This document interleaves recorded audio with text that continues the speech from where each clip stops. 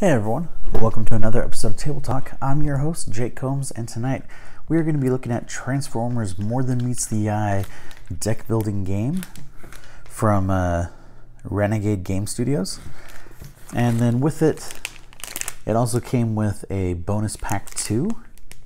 Now I'll have to double check their website, um, and I will include the details in our written article that we'll do on nerdcultaonline.com. Um, but with that, I suspect, because this is listed as bonus pack two, that there are more than one bonus packs. Now, it may have been like a, you know, free with order until while supplies last type thing, or they just, you know, chose one of, one of them randomly, and that there are others to choose from. Um, but I'll have to do that research, and like I said, I will include that in the actual written article. Now, this game was provided by Renegade Games Studio uh, for the purpose of this video. Now, I've only ever played a single deck building game, and that being um, a Harry Potter one that we actually covered quite a while ago um, from USAopoly, and so that was really the only experience I've had with that type of game. And so looking forward to actually being able to do this game with Transformers uh, because personally I've always loved Transformers. All right, let's see who we got.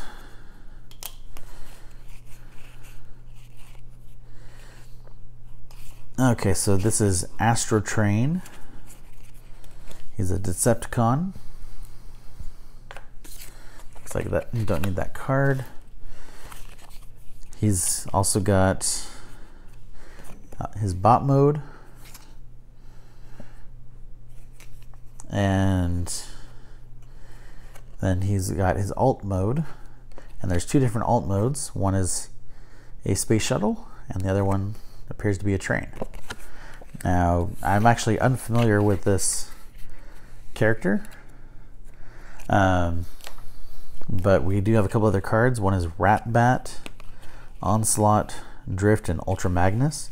So it looks like two Decepticon, two Autobot cards, and these are robot cards. And then it also comes with a stand for that. Now let's go ahead and open up the box. So it says it's for mm, a game for one to five players. We have a little ad insert for their Power Rangers game that's similar. The G.I. Joe deck building game, the G.I. Joe role playing game, as well as the Power Rangers role playing game. We have the official rulebook.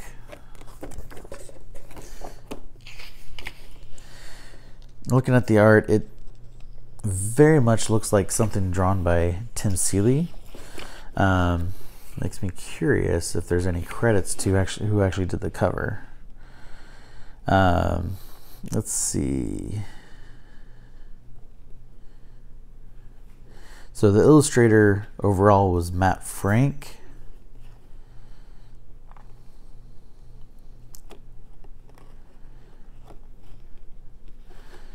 All right, so it looks like Matt Frank is actually the one that did the art. His style just very much reminds me of Tim Seeley's. Um, now, right off the bat, I am loving the look of this rulebook. Full picture, very, very crisp detail. Um, the wording is very large for the, for the most part, um, making it very easy to read. It goes through the anatomy of the cards and how to read them, what different types of cards, how to play the game, spending energon, spending power. Uh, it also includes examples of how to play, dealing with your adversaries,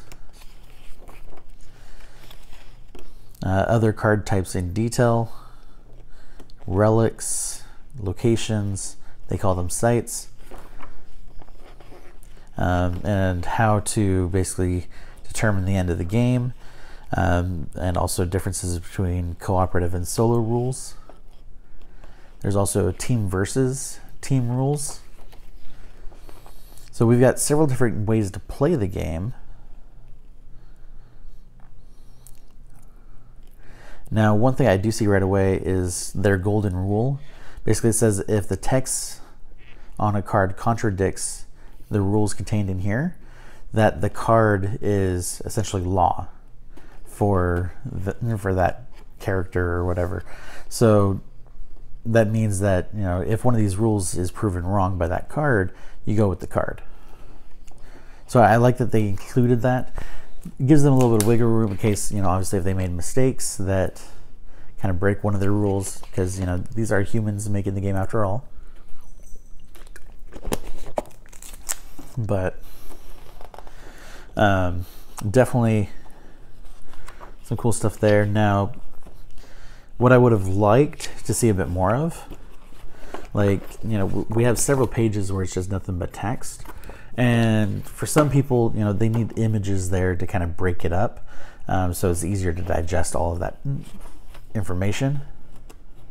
Like on this page, we, we do have, like, for the example of gameplay, but that's it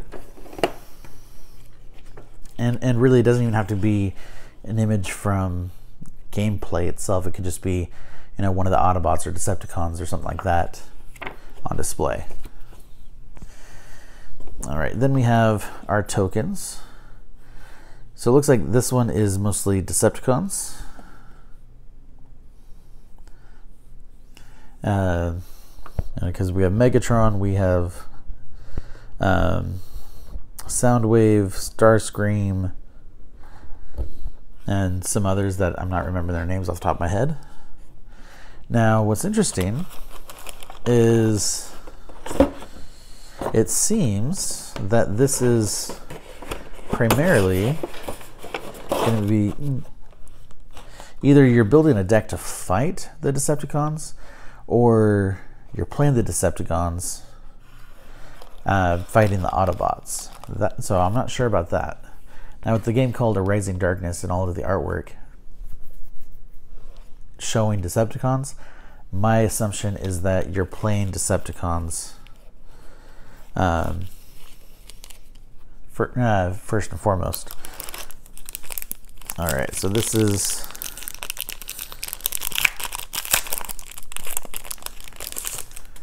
our main cards for the different characters. We have Scrapper, we have Shrapnel, Thundercracker uh, are the ones that I forgot about, and then Soundwave, Starscream, and Megatron. Now, I really like the artwork for these guys. Um, it's definitely a, a very cool comic book art style.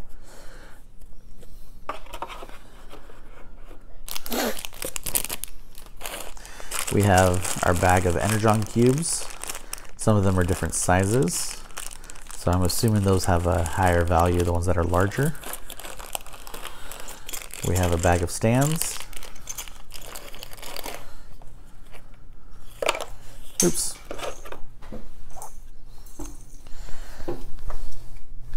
All right, picked him up. And then we have that stack of cards and then this bigger stack of cards. Now the question is really going to be where are these cards going exactly? Uh, we do have some preset dividers in here. Um, not really sure you know, how those are all intended to go. I'm going to go ahead and take out the characters, put them all together.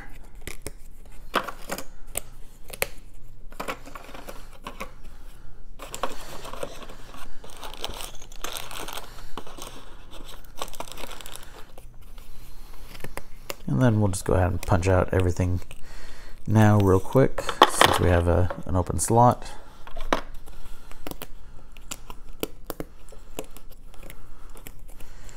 Now there are some people that, with tokens like these that insist on cutting them out. Um, me personally, there I feel that they're held on with so little that that's not necessary. Now, obviously, you'll do you will have some that will fight you a little bit more, just because you know it wasn't a clean cut, and you know, so when those happen, it is going to be a little bit more difficult to get it cleanly off and not have it affect the token itself visually anyway. But the chances of that happening happening is in my experience relatively low. And we're already almost done with that.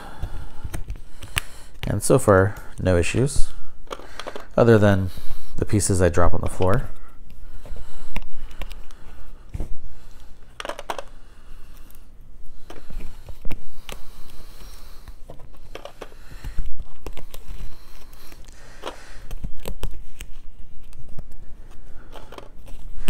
Now, uh, now, anyone watching,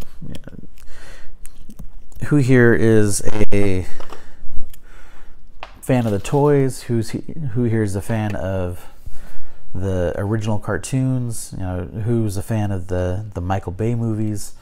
Um, and you know, who's just into the the toys? Actually, I don't know if I said toys already. Probably did, um, or the comics themselves me personally, I've always loved the toys. Um, never read the comics. Um, I loved most of the movies. And honestly, I, I kind of want to do a, a, marathon of them again um, to go through the whole series, especially since I haven't seen The Last Knight yet. Um, now, the the Bumblebee solo one, I really enjoyed. All right, so here we have looks like our various cards. And we have some Autobot bosses. So these are listed as bosses. So my assumption was correct that it is basically Autobots versus Decepticons and you play as the Decepticons. Um, got some really great artwork on here. Like this one is Decepticons Attack. Really like that one. Um, Megatron kind of leading the army. Uh, Ravage. I always liked Ravage. Ravage was always one of my favorites. Uh, Mixmaster Hook. Some of the Constructibots.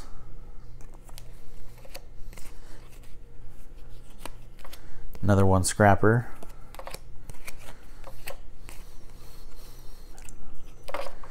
Now this one for Starscream is a totally different art style. Um, makes me curious about that one.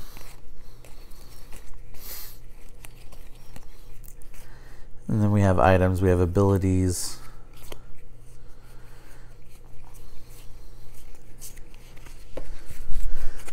Now, what I would love to see is there was a G.I. Joe Transformers crossover comic book that um, was basically based during, I believe it was World War II, where Cobra was essentially replacing the Nazis.